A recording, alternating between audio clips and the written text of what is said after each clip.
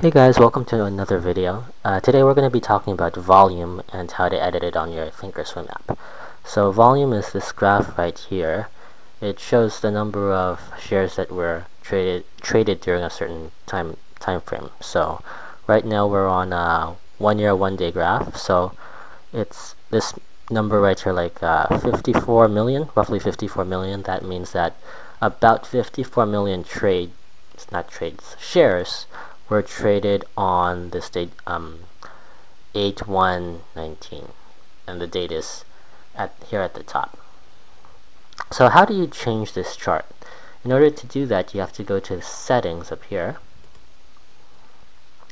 and then you can go to equities because Apple is an equity, all stocks are equities and then you can do show volume subgraph. So this shows you the volume. So if you uncheck this box and click apply, this graph right here should disappear. So let's click apply, and now it's gone.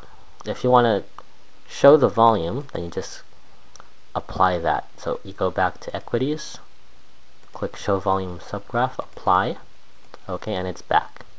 There's a few other things you can do with volume. So for example, if we go back to chart settings, uh, and then we go to uh, let's go to I think it was price axis? No general. Uh, yeah general. We can also overlap volume. So overlapping volume is going to move this let me move this here. It's going to move this chart here into the uh, price graph up here. So let's let me show you what I mean. Overlap volume apply see now it's all together in one chart.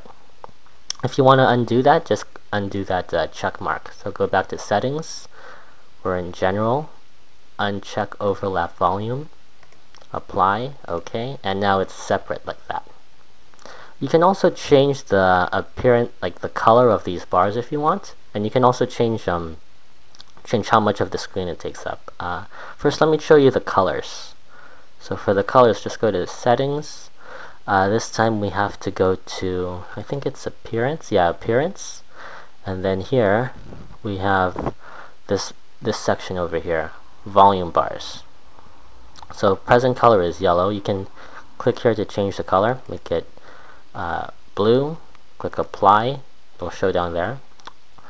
You can uh, choose more, there's more options. There's all these different colors you can choose. Here's a green,